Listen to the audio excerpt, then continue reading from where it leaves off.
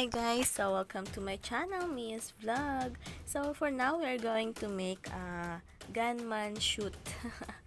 Gunman uh, logo design intro animation.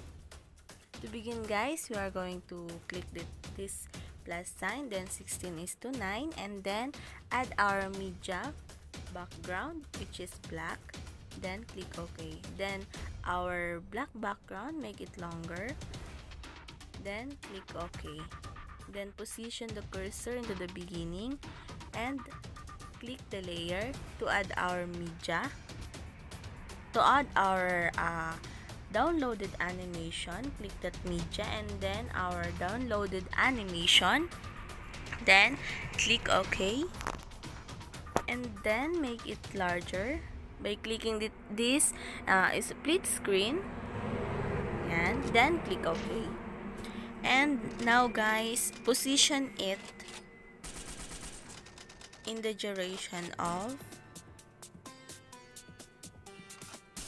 the end. Not totally in the end, but uh, slightly in the end of the animation to add our logo. Yan.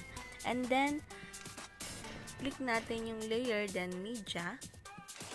And then, we are going to add our logo. Logo design. If you have to change that logo, you can click this delete. Then, repeat the process. This one. And now, we are going to click this cropping. Then, i-on natin yung mask, which is yung shape. Then, choose uh, other shape that were that is suitable to our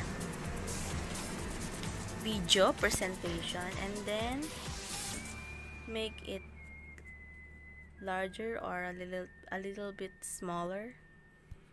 Oops i'm sorry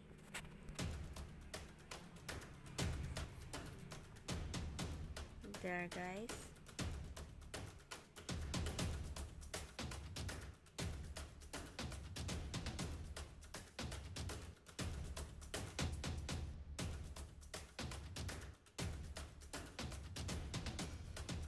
Then guys uh, click ok. And then click click again that our logo click again our logo design then cropping then add feather. Para hindi masyadong kita yung white background niya. There we are. Then click ok. And guys if you are going to add that brightness in the logo you can click this color adjustment here or if you are not satisfied in the brightness you can decrease the feather. Ayan, ito then click OK. So, we are going to uh, to trim this logo design para pantay siya sa ating intro animation. Trim to right of playhead. Yan. Then guys, uh, kailangan natin mag-add ng animation dito which is uh, which is lalaki siya. So, click the logo design and then make it smaller. Then, add animation there, yung key na nasa ipod lang natin and then, palakahin din natin ang ating logo. Ganun din dito sa sunod.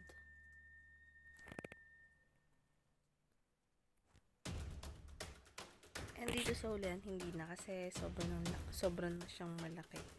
Then, click OK. Dito sa gilid. Then, we are going to finalize our output.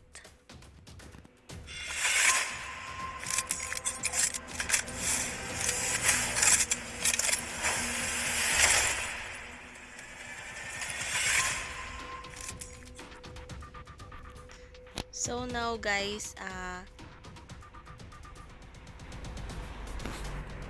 finish na. Ay! Shucks. Trim natin tong black background para pantay din siya. Yan. Then, click OK. So now guys, we are going to watch our final output uh, by clicking save and then we are going to play it. So,